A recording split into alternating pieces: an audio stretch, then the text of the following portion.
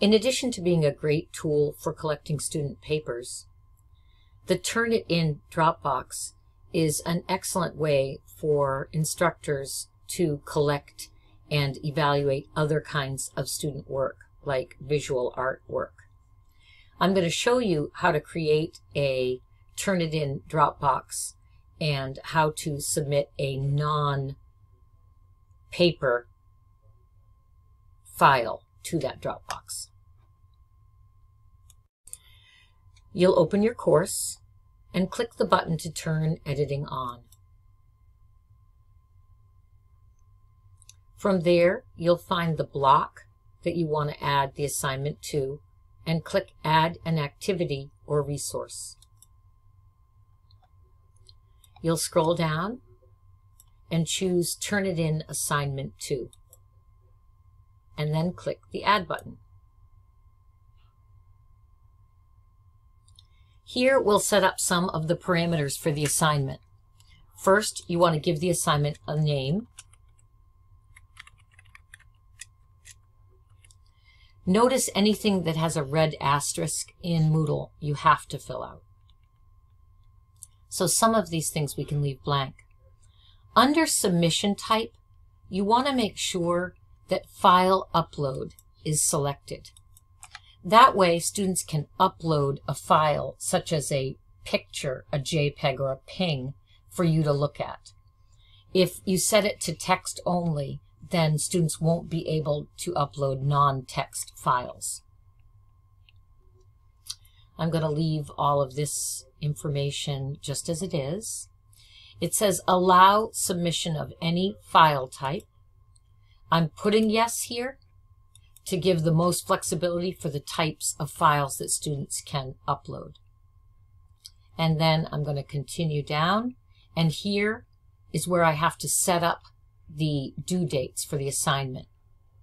The start date and time is always the time that you're creating the Dropbox. You can change the due date here, either by clicking on the different drop-down menus, or you can click the calendar and browse that way. The time you also can set up. It is military time.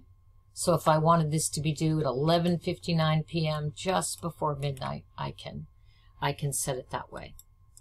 The post date is the date students expect their grades posted back. And I, to get around this, because I don't like to make that exact commitment, I just click on the menu, the mark that where it says the month, and then I choose, you know, July or something where I know that I'll I'll beat that date back. And then I'm going to scroll down and hit save and return to course.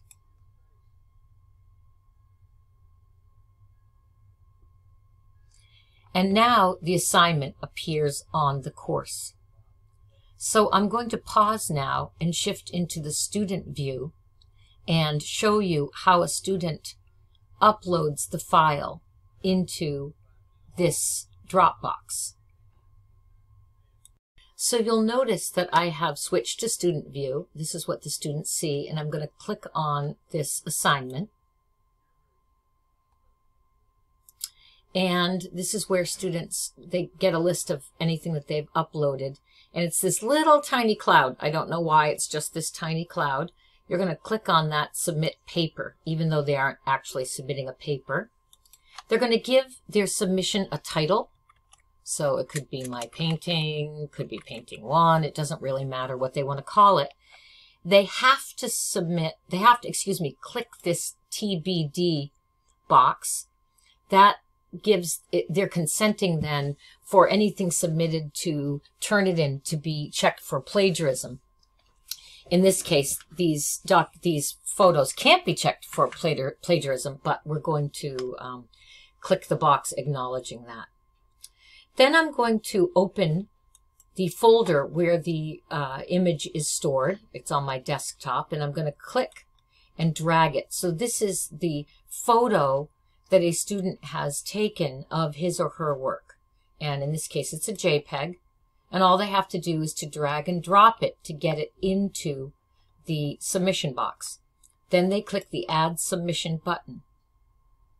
And after that, they get a digital receipt that tells them that their submission has been successfully uploaded.